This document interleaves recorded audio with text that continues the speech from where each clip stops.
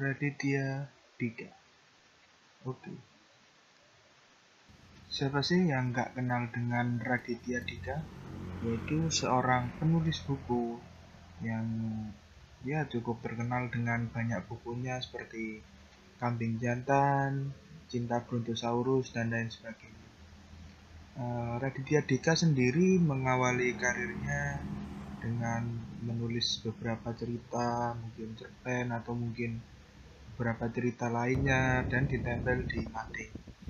Beliau dikenal introvert ya, dan saya mulai uh, mengenal beliau lewat stand up comedy. Uh, untuk di karir selain stand up comedy, beliau juga memiliki beberapa web series juga, terus juga beberapa kali main film, bahkan sudah punya film sendiri. Beberapa film karya Raditya Dika adalah Cinta Brontosaurus, Manusia Setengah Salmon, lalu ada Hangout, ada banyak lah pokoknya ya. Lalu sekarang masuk ke pendapat saya. Pendapat saya gimana sih terhadap beliau atau terhadap Raditya Dika ini uh, Raditya Dika cenderung main aman kalau bicara soal politik. Padahal uh, doi kalau bisa dibilang ya punya latar belakang uh, latar belakang pendidikan politik yang sangat baik. Bahkan uh, ayah beliau pun uh, salah satu uh, politisi juga ya kalau nggak salah.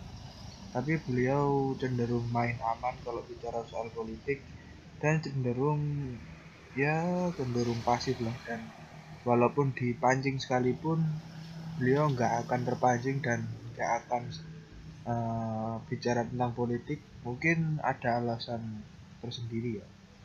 Terus pendapat saya yang kedua dia orangnya itu slow slow dalam artian yes santai aja gitu. Uh, tidak bereaksi terhadap uh, sesuatu. Ya mungkin bereaksi cuman reaksinya lebih kepada omongan atau mungkin kepada uh, ekspresi namun tidak bereaksi secara berlebihan.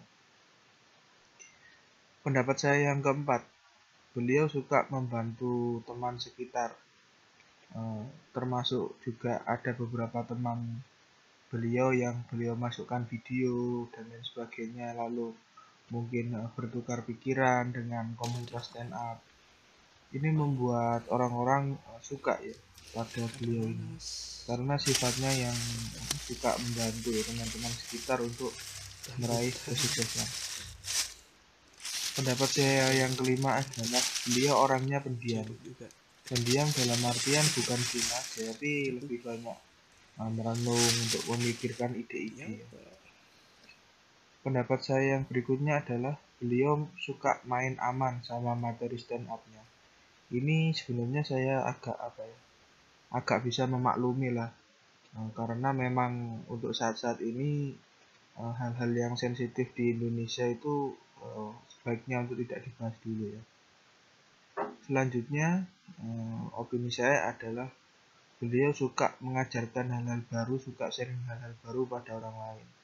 Uh, contohnya tentang materi stand up contohnya tentang mengatur keuangan, tentang membuat tulisan yang baik dan lain sebagainya. Bahkan salah satu eh, salah satu pengajaran yang beliau ajarkan dan dikenal mungkin hampir seluruh masyarakat Indonesia yaitu berkaryalah dari keresahan. Itu mungkin atau mungkin dia beliau berkarya berdasarkan uh, keresahan beliau. Itu mungkin uh, menjadi satu titik acuan ya untuk orang Indonesia dalam berkarya ya. Tapi kalau saya sendiri sih bukan malah dengan keresahan ya, tapi malah dengan ide-ide segar yang jauh dari keresahan ya mungkin beda orang beda. Uh, yang berikutnya adalah iseng dan jahil. Iseng dan jahil ini bisa kita lihat dari beberapa video dan juga uh, sering kali ngerjain ya entah itu temen, entah itu uh, orang dekat, entah itu adik dan lain sebagainya terus yang terakhir adalah cerdas. Ya ini udah pasti ya. Kalau nggak cerdas nggak pinter nggak bisa bikin materi yang lucu ya. Nah, sekian dulu ya, dari saya. Saya juga bingung ini mau ngomong apa. Karena bukan karena bukan karena nggak ada materinya tapi lebih karena waktunya yang terbatas atau durasinya yang saya batasi oke terima kasih semuanya. Dadah